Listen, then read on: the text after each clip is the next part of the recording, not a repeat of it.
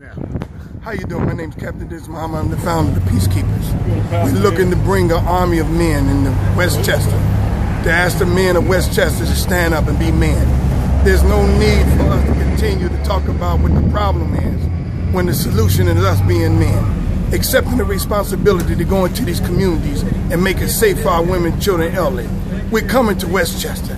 We need the men of Westchester to stand with us. We need the men of Westchester to put aside your religious differences, put aside your political differences, put aside your racial differences, put aside your social differences, and stand with us as we come to make peace in the streets of Westchester.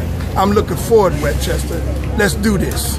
May God bless you and bless the peacekeepers. My name is Captain Dennis Muhammad, and I'm President for Peace.